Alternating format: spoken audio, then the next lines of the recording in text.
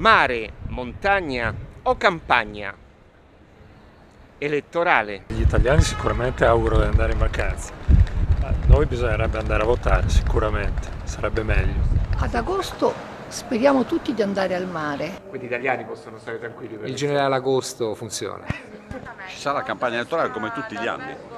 In Puglia i turisti vengono a fare campagna elettorale.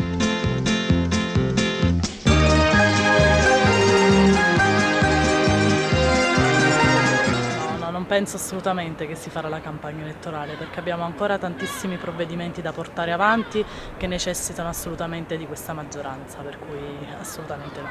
Mare o montagna? Penso mare. Arrivederci.